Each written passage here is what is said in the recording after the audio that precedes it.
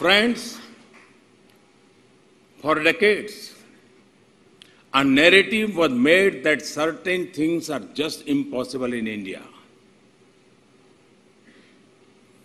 The progress our nation has achieved since 2014 gives me confidence that nothing is impossible for 130 crore Indians. नामुमकिन अब मुमकिन है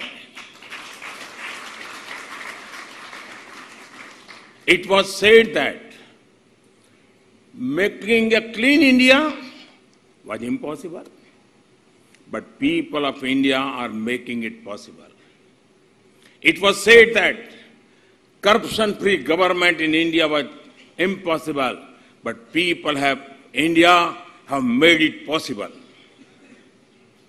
It was said that it is impossible to remove corruption from the process of giving people the due, but people of India are making it possible. It was said that it is impossible for the poor to leverage the power of technology, but the people of India are making it possible. It was said that removing discrimination and arbitration in policy making was impossible, but people of India are making it possible. It was said that economic reforms in India were impossible, but people of India are making it possible. It was said that governments cannot be pro-growth and pro-prival at the same time, but the people of India are making it possible. I have also been told that there is a perception or theory that a developing economy cannot grow at higher, at higher rate for a longer period without facing the problem of inflation.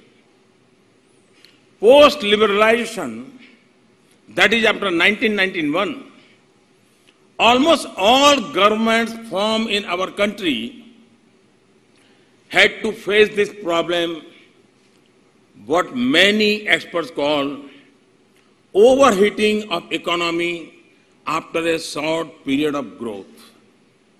As a result of this, we never had sustainable higher rate of growth. You may recall that we had a government between 91 and 96 where the average growth was about 5%, but the average inflation was more than 10%. The government just before us, between 2009 and 2014, had an average growth of about 6.5% with an average inflation again in double digits. Friends, well, I'm not an economist. I'm talking about the previous government. Friends, during 2014 to 2019, the country would register average growth of 7.4% and the average inflation would be less than 4.5%.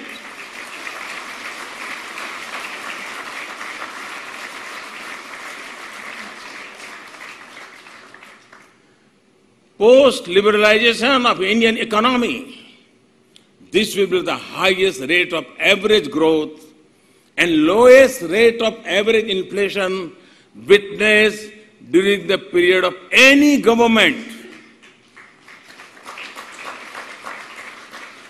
With these changes and reforms, transformation is happening in the way our economy is, has moved. The Indian economy has expanded the bouquet of its financing resources.